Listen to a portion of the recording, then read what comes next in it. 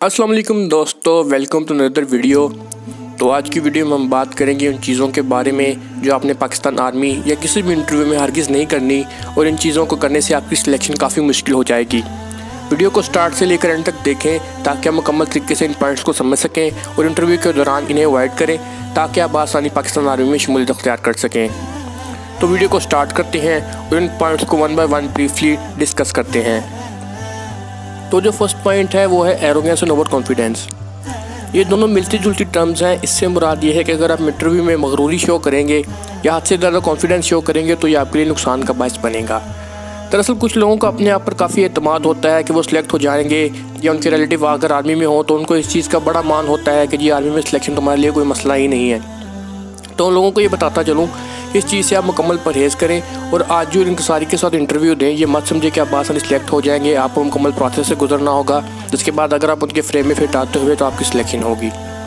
Confidence और खुद अतमादी बहुत अच्छी चीज़ें हैं, लेकिन जैसे कोई भी चीज़ हद से ज़्यादा हो जाए तो नुकसान देती है।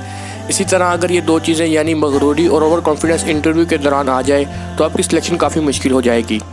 उम्मीद है आपको ये पॉइंट क्लियरली समझ आ गया होगा। सेकेंड पॉइंट है इनअप्रोप्रिएट ड्रेसिंग इंटरव्यू में ड्रेसिंग की अहमियत इतनी है जितनी किसी भी और चीज़ की। इंटरव्यू लेने वाला आपकी शख्सियत का अंदाज़ा आपके लिबास से लगा लेता है। जब फॉर्मल लिबास की बात की जाती है तो ज़रूरी नहीं कि आप पेंट कोट ही पहने। अगर आप पहन सकते हैं तो ये वेल एंड गुड है, बहुत अच्छा है, बेहतर है। लेकिन अगर सूट में कंफर्टेबल महसूस नहीं करते तो अच्छी शलवार कमीज़ के ऊपर वेस्ट कोट या कोट पहन लें, या ड्रेस पैंट के साथ अच्छी टाई लगा लें। कोशिश करें कि ड्रेस अच्छा इस्त्री हुआ हो, सलवटे ना हो। ये चीज़ आपको भी कॉन्फिडेंस देगी और इंटरव्यूअर पर भी अच्छा इफ़ेक्ट पड़ेगा। तो इस चीज़ का लाजमी ख्याल रखें। तीसरा पॉइंट है इंटरव्यू के दौरान झूठ बोलना।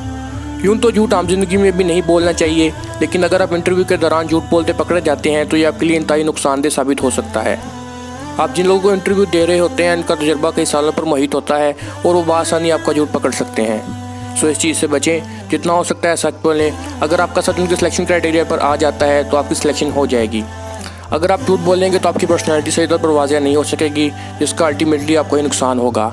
तो जो भी आप सवाल पूछे जाते हैं, उनका सच सच जवाब दें। आप बस ये सोचें कि आपने अपने आप को शो करना है। अगर आप आर्मी के फ्रेमवर्क में, आर्मी के क्राइटेरिया में एसएसबी के सिलेक्शन में आते हुए तो आपकी सिलेक्शन इंशाल्लाह बसानी हो जाएगी। फोर्थ पॉइंट है इंटरव्यू के दौरान इंटरप्शन और सवाल को गौर से ना सुनने की गलती करना। अक्सर इंटरव्यू के दौरान गलत जवाब इसलिए दिए जाते हैं क्योंकि आप सवाल को गौर से नहीं सुनते। अगर आप सवाल को गौर से सुनेंगे तो आंसर करना आपके लिए काफ़ी आसान हो जाएगा।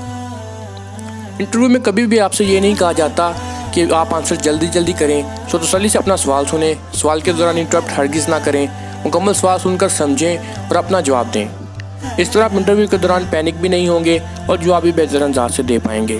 तो इस पॉइंट को भी आपने मलूज खातर रखना है। फिफ्थ पॉइंट है कॉमन सेंस के क्वेश्चन का गलत जवाब देना या बहुत ही आसान सवालों का गलत जवाब देना। अंग्रेज़ी में काफ़ी मशहूर मुहावरा है कि common sense is not very common in common people इसका अंदाज़ा इंटरव्यू के दौरान अक्सर हो जाता है। कुछ कैंडिडेट इतने पैनिक होते हैं कि अपनी कंट्री के वजी अजम का नाम तक गलत बता देते हैं। सो अगर आप इतनी इन्फॉर्मेशन भी नहीं रखते तो आप खुद समझदार हैं कि आपकी सिलेक्शन होगी या नहीं। सो अपने दिमाग को ठंडा रखें कॉमन सेंस को एक्टिव रखें और इसका इस्तेमाल बेहतर तरीके से करें। जब भी आप इंटरव्यू देने जाएँ, पाकिस्तान आर्मी का या नेवी का, या एयरफोर्स का एस का इस चीज़ को मेक श्योर करें कि आपको कम अज़ कम अपने बारे में, आपकी फैमिली के बारे में और अपने मुल्क के बारे में काफ़ी ज़्यादा इन्फॉर्मेशन हो।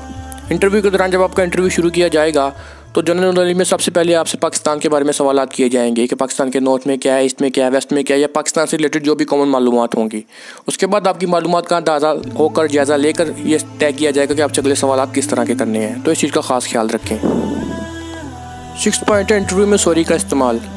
अगर आपको इंटरव्यू में कुछ सवाल का जवाब नहीं आता तो जो ना आने पर सॉरी कहने से परहेज़ करें, क्योंकि इसका इंटरव्यू में काफ़ी बुरा इफ़ेक्ट पड़ता है। अगर आपको जवाब नहीं आता तो पहले तो ट्राई करें जवाब देने की। अगर फिर भी नहीं आता तो सॉरी के अलावा कोई और मुनासिब लफ्ज़ यूज़ करें, जो कि सवाल के मुताबिक या सूरत के मुताबिक हो। इसका एक और हल ये है कि आप तैयारी ऐसी करें कि आपको सॉरी करने की ज़रूरत ही ना पेश आए। अगर आपकी तैयारी अच्छी होगी तो आप ऑब्वियसली ज़्यादा सवाल का जवाब दे सकेंगे, आप मोर कॉन्फिडेंट होंगे, और आपका इंटरव्यू इंशाल्लाह काफ़ी अच्छा हो जाएगा। इंटरव्यू के दौरान बार बार सॉरी करने से परहेज़ करें और ज़्यादा से ज़्यादा सवाल का जवाब दें, ताकि आपका अच्छा इफ़ेक्ट पड़ सके इंटरव्यू पर। सेवन पॉइंट आई कॉन्टेक्ट से मुतलिक इंटरव्यू लेने वाले से आँखें मिलाना कॉन्फिडेंस की निशानी शुमार होता है और आँखें चुराना अच्छा नहीं समझा जाता। तो कोशिश करें कि अपने चेहरे पर हल्की सी मुस्कुराहट के साथ आँखों से आँखें मिलाएँ। इंडियन गानों वाली आँखें नहीं, बल्कि डिसेंट और अप्रोप्रिएट आई कॉन्टैक्ट रखें और अपना कॉन्फिडेंस शो करें।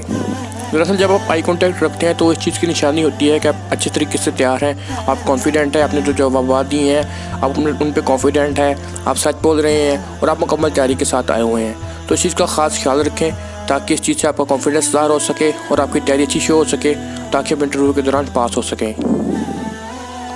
आठवां और इस वीडियो का आखिरी पॉइंट है बॉडी लैंग्वेज से रिलेटेड जैसे इंटरव्यू में आप ज़ुबान से बात कर रहे होते हैं, वैसे ही आपका जिसम भी इंटरव्यू के दौरान बात कर रहा होता है। मसलन अगर आप इंटरव्यू के दौरान अपनी टांगों को हिला रहे हैं या बाजू को हिला रहे हैं या इधर उधर देख रहे हैं तो इसका मतलब है आप कन्फ्यूज़ हैं और आपकी बॉडी लैंग्वेज अच्छी नहीं है। तो इंटरव्यू के दौरान कोशिश करें कि बॉडी लैंग्वेज अप्रोप्रिएट रखें, शीशे के सामने खड़े होकर बोलने की प्रैक्टिस करें, ताकि आप में कॉन्फिडेंस आ सके और इंटरव्यू में अपना बेस्ट दे सकें। जी तो ये थे कुछ पॉइंट जिनसे आपने इंटरव्यू के दौरान अवॉइड करना है। अगर आप इन पॉइंट्स को अवॉइड करेंगे तो इन आपका इंटरव्यू काफ़ी अच्छा हो जाएगा और आपके सिलेक्शन के चांसेस काफ़ी बढ़ जाएँगे। अगर खुदा खास्ता इन पॉइंट्स में से आपसे कुछ गलती हो भी जाती है तो ये ज़रूरी नहीं कि आप सिलेक्ट नहीं होंगे, क्योंकि अगर आपकी कोई चीज़ गलती में रह जाती है तो हो सकता है आपको पॉजिटिव पॉइंट ऐसा हो जो इंटरव्यू को आपके दौरान पसंद आ गया हो और वो चाहे कि आपकी इससे सिलेक्शन हो जाए। उम्मीद है आपको वीडियो पसंद आई होगी। वीडियो को लाइक ज़रूर करें और किसी भी सवाल के लिए नीचे कमेंट्स कर दें। मजीद किसी भी कोर्स की तैयारी के लिए किताबें हासिल करने के लिए नीचे कमेंट कर दें। इन आपको बेस्ट और बेहतरीन बुक्स प्रोवाइड कर दी जाएँगी। चैनल को सब्सक्राइब लाजमी करें, वीडियो को लाइक और शेयर ज़रूर करें। वीडियो देखने का शुक्रिया। अल्लाह हाफिज़।